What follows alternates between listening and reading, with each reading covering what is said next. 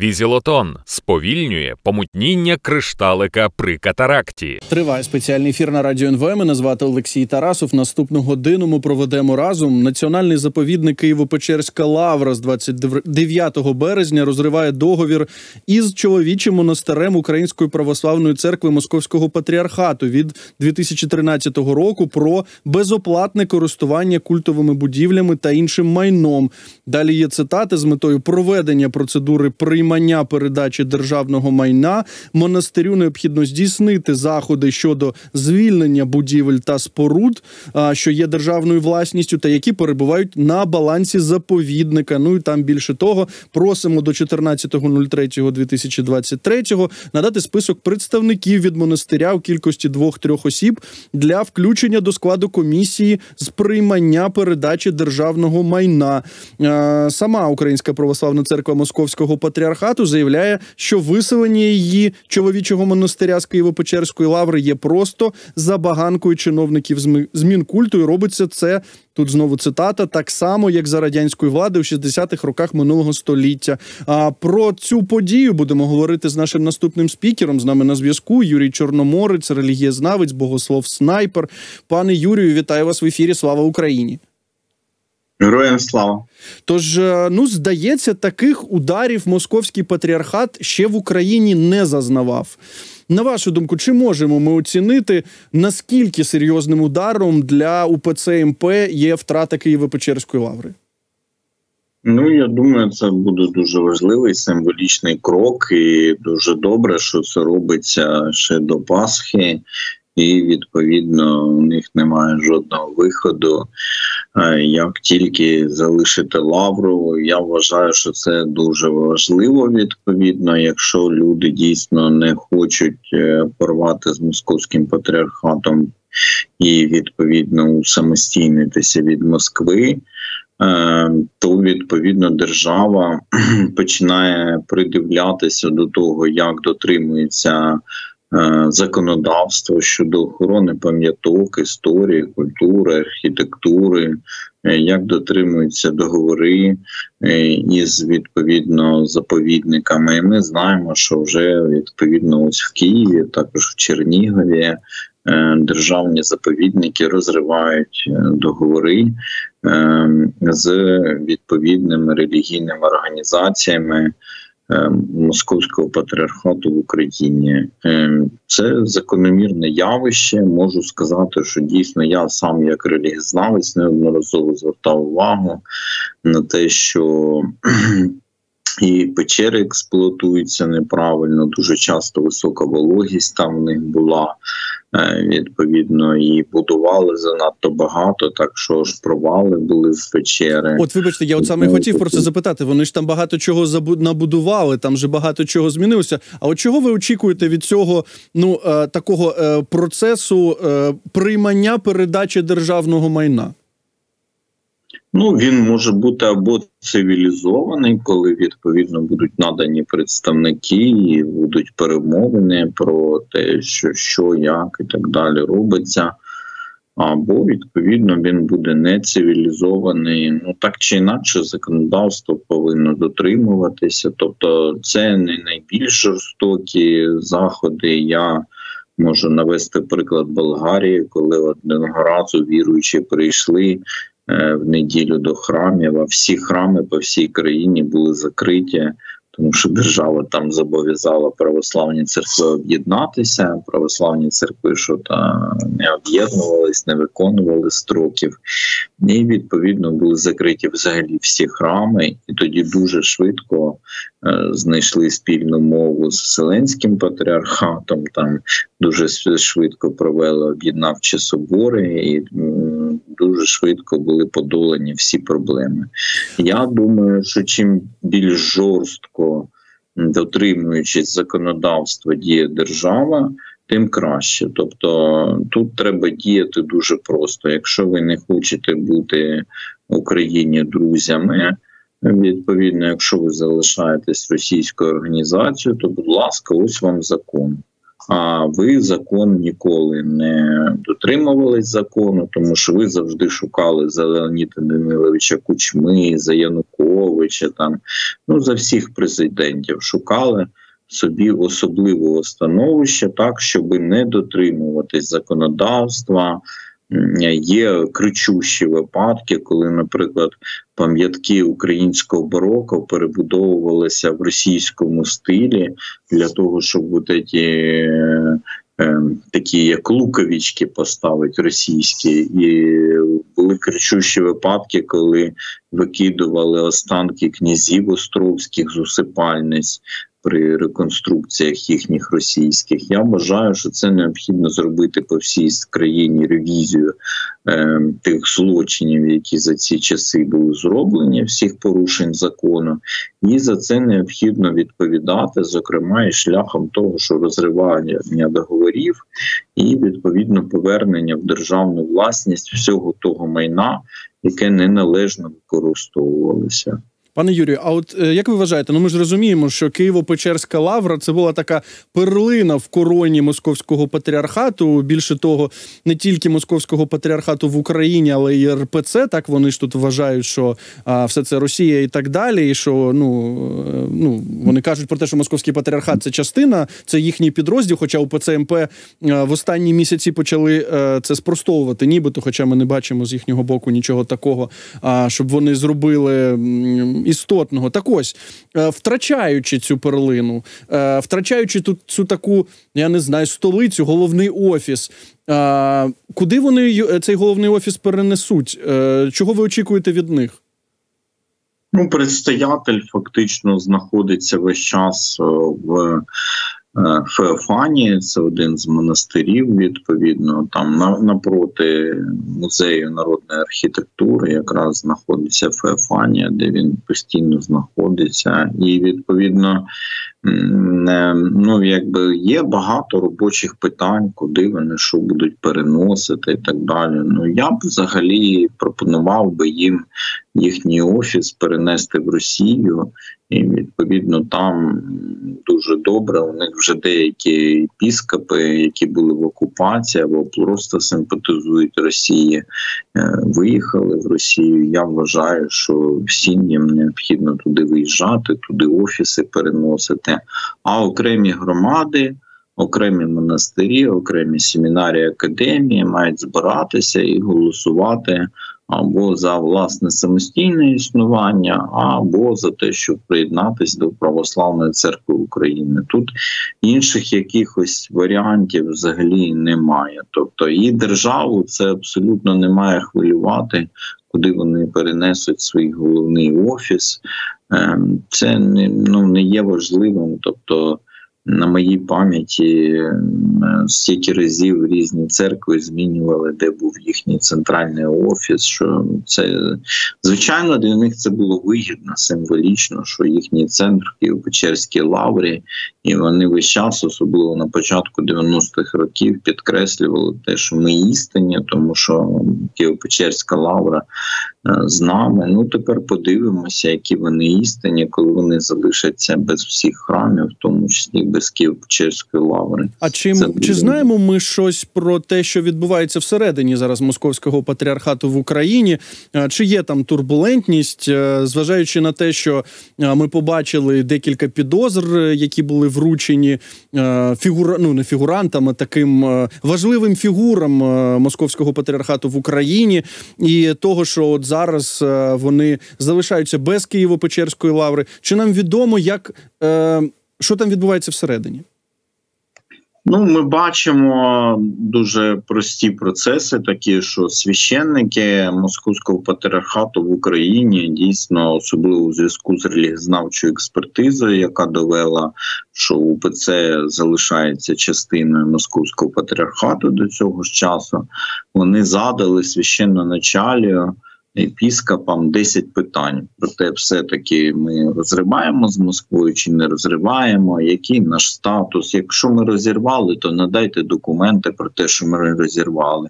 Якщо ми повідомили про те, що там Онуфрі і інші виходять з керівних органів Російської православної церкви, надайте документи про те, що все це відбулося. Ну покажіть нам документи. І там у них було 10 вимог про це. Вони надіслали все це заказними листами. Е, кожному архірею Української православної церкви, керівництву Української православної церкви, і ми бачимо, що вони мовчать. Навпаки, вони ініціювали такий процес, що треба цих священників забороняти, що вони е, значить е, чинять нецерковним чином. Тобто люди задають елементарні питання, абсолютно елементарні. Що якщо ми хочемо бути в Україні, ми не можемо ясно вже належати до московського патріархату треба все-таки від'єднуватися, і не так ось якось так, як в травні 2022 року, що ніби від'єдналися, але не від'єдналися. От, а вже по-серйозному від'єднуватися. І відповідно на все це вони отримують тільки окрики, що зараз вас заборонимо в служінні і тому подібне. Все це справляє вражаюче, нітюче враження. Ну таке я не знаю. Складається таке враження, що люди продовжують жити в часи Януковича. Що ніби тут влада Януковича, ніби тут Україна часів Януковича, нема російсько-української війни і тому подібне, нічого цього немає, і можна ось так себе вести, якось така велика російська церква, і що всі це будуть терпіти. Ну це абсолютно дивно. Е, це абсолютно нічим не пояснювано. Тобто ні з людської точки зору, ні з моральної, ні з релігійної, ні з канонічної точки зору, ні з точки зору законодавства, цей феномен ось такої упертості пояснити жодним чином неможливо. І якби якщо ви гнете цю проросійську лінію, то ви повинні нести за неї повноту відповідальності. В чому полягає головна проблема. Головна проблема їхнього керівництва полягає ось в чому: що ми будемо робити все, що завгодно, там п'яними за рулем їздити, там е- за матушку Росію виступати, все що угодно, але нам все треба прощати. І тут раптом їм говорять sorry, треба за свої вчинки нести відповідальність. І люди Sorry, but excuse me. А вибачте, а от а от якщо говорити про спонсорів УПЦ МП, так ми пам'ятаємо, що а, за роки незалежності України багато саме представників влади, от вигадав, сказали про те, що вони живуть, нібито вони живуть за часів Януковича. Так ось представники влади так е, саме давали, виділяли гроші, можливо, і свої власні, якісь накрадені. Ми тут не можемо зараз перевірити. Але е, чи ми розуміємо, хто залишаються спонсорами е, московського патріархату в Україні? Звідки вони, вони беруть гроші на свою діяльність? Ну, справа в тому, що багато дають прості віруючі, да, коли вони приходять в паломництво, ту саму лавру і тому подібне, знову таки зобов'язують е, просто абсолютно нелюдський спосіб, визискуючи, наприклад, із сільських священників по три тисячі гривень, зобов'язують здавати щомісяця в центральні органи влади, і якби ну це великі гроші для села. А я вже мовчу, що там в містах роблять і так далі. Тобто існує система такого е, оброку постійного, і якби вони викачують величезні гроші за цей рахунок, живуть прекрасно, абсолютно в особливому своєму світі, де є лімузини, мерседеси і все інше. Потім знову таки вони розповідають спонсорам всякі казочки, що ви знаєте, там от нам треба від ну відреставрувати, наприклад, лавру. Да? Тобто лавра реставрується за державний рахунок. Є вся документація, що вона весь час реставрується за державний рахунок. Ваша Мерседес ходить по всім і говорить: скидуйтесь, держава нічого не виділяє. Там були скандали, тому що він там за розписи Успінського собору, які були зроблені за державний кошт, ще два рази взяв гроші: один раз у українців, інший раз у росіян, не у Путіна. І якби ну це взагалі ну систематично така іде політика політика. І тут дуже важливо, що ці люди, які є спонсорами, вони впливають на позицію ПЦ. Тобто, ми бачимо, що там, наприклад, Е, в листопаді е, Новінський зустрівся з керівництвом Української православної церкви, і вони раптом 23 листопада прийняли відозву, що всі ті люди, що на окупованих територіях і співробітничають з Росією, що це не колаборанти, це герої. І якби ми бачимо конкретні е, такі речі, що тобто, ем, ну оцей зв'язок. Е, з політиками, з колишніми політиками, ось ці якісь зв'язки, скажімо так, е, з тими проросійськими силами, які були в Україні, вони їх гублять, тому що вони на цих людей орієнтуються до цього часу і чомусь думають, що ці люди знову прийдуть до влади в Україні, і знову буде дуже все прекрасно для московського патріархату. Тобто вони Тут такі ждуни, правильно, в сенсі, що вони просто очікують, поки переможе Росія або окупації ждуть, або ждуть нових Януковичів. І тут відповідно людям треба сказати: sorry, ну можете ждати на квартирах, просто оскільки ви не дотримуєтесь законодавства, ви маєте нести повноту відповідальності за все це. І відповідно там, е, ну будь ласка, ну ніхто вам не заважає. Ми вільні люди в вільній країні. Ви можете служити де завгодно, ну, наприклад, у себе на квартирах там, але будь ласочка, державну власність здайте там привілегії, будь ласка, зараз без всяких привілеїв і так далі, і тому подібне. І відповідно, як говорить голова е, Служби безпеки України, якщо є злочини, вони мають бути задокументовані, і після того, як вони задокументовані, люди повинні понести за них відповідальність. У нас скажімо, архіви е, ломляться від злочинів, які вчинені московським патріархатом за 31 рік. От, але ну, скажімо, сьогодні, слава Богу, ну скажімо, прийняли таку стратегію, що давайте не будемо думати, що там в минулі роки було. Давайте конкретно ось те, що є зараз. Якщо зараз у людини є російський паспорт, sorry, будь ласочка, ви вже без українського громадянства. Якщо ви зараз конкретно порушуєте там е, природу ем, ну, законодавство про охорону пам'яток архітектури в Лаврі, несіть за це відповідальність, і це дуже хороша політика, тому що ну те, що було в минулому, якби ну вони можуть якось там оспарювати. А те, що є зараз, всім очевидно, вже вони нічого не можуть сказати, тому що це зараз прямо тут відбувається. Воно все задокументоване, і дійсно люди конкретно винні і по конкретним статтям мають понести відповідальність. Я вважаю, що необхідно розбиратися, розбиратися з їхньою інформаційною політикою проти України, систематичною, яку вони вели, теж підводити під статтю, бо там величезна кількість порушень. і Теж люди мають нести відповідальність. І за все хай несуть відповідальність. Може подорослішають колись. Пане так, Юрію, пане Юрію, а от ви вже згадали звичайно про те, що е, гроші е, отримують е, УПЦ МП, в тому числі від прихожан, так е, тобто від своєї власної пастви.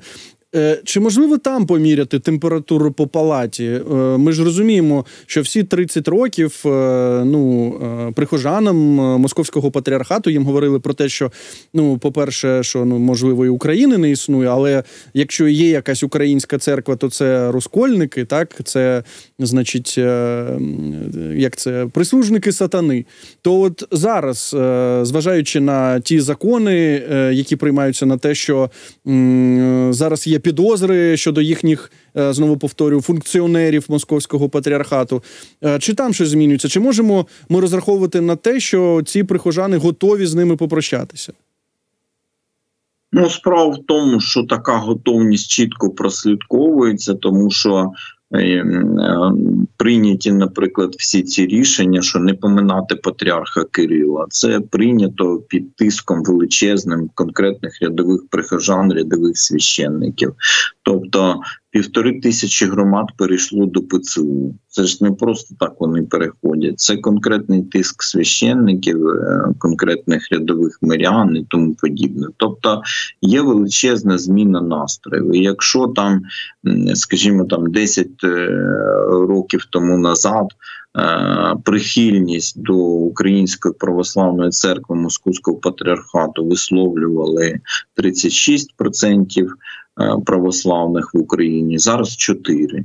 І якби ми бачимо, що відповідно відбувається, що мінімізація соціальної бази підтримки. Може вони стидаються? Знаєте, ну зараз дуже якби е, не некрасиво говорити, що ви любите московський патріархат про нормальні опитування, де просто питається Українська православна церква на чолі з Онуфрієм, ви до неї належите. Ну там не пишеться московський патріархат. Московський патріархат в останній раз писалося в опитуваннях в 2000 році. От. А так, всі є офіційна ось ця назва. Зараз в зв'язку з релігієзнавчою експертизою, в зв'язку з новим законодавством, звичайно, це проблема щодо назви, але ну е, проводились опитування коректно в цьому відношенні. Ну і потім знову таки тих, хто є прихильниками саме цієї церкви, да, митрополита Онуфрія, їх опитували е, ви за те, щоб розривати всі зв'язки з Москвою чи, чи проти. 74% за те, щоб розривати всі зв'язки з Москвою. Тобто настрої рядових віруючих вони очевидні, вони ясні, вони прості. І я хочу ще раз підкреслити, що величезна кількість хороших священників, величезна кількість хороших громад хороших віруючих, які є щирими українцями, які допомагають фронту, які, ну скажімо, стараються дійсно якось тут в Україні закорінюватися, які дійсно вимагають від начальства, щоб вони там анафіматствували Кирила, щоб вони вели перемовини з Селенським патріархатом. Тобто, в цілому, я б сказав би серед віруючих настрої такі, що вони не безнадійні, тобто не можна сказати, що це цілком загалом зазомбовані. Є зазомбована меншість, є звичайно ці люди, які прямо схожі там на якихось сектантів е, там з білого братства, і їм тільки е, допоможе спеціальне лікування. Але в принципі, скажімо, це мінімальна меншість, тобто, слава Богу, в цілому ми маємо таку ситуацію, що якби зараз митрополит Онуфрій вийшов і сказав би, ми дійсно повністю пориваємо з Москвою. Ми дійсно, ну скажімо, йдемо абсолютно автокефальним шляхом. Ми, значить, починаємо перемовини з Селенським патріархатом, з іншими предстоятелями церков. Ми починаємо перемовини з ПЦУ, то абсолютно більшість віруючих його би підтримала. Чому він це не робить? Це нікому не зрозуміло. Ну, ви тобто знаєте, ми спілкувалися з експертами також щодо цього. Ну кажуть, що ні, те, що в нього в голові, це ніяким чином е, не може говорити про те, що він готовий порвати з Москвою. Пане Юрію, на жаль, маємо вже переходити на новини. Я вам дуже дякую за цю розмову. Юрій Чорноморець, релігієзнавець, богослов снайпер, був з нами на зв'язку. Обговорювали саме те, що національний заповідник Києво-Печерська лавра з 29 березня розриває договір з Українською православною церквою Московського патріархату.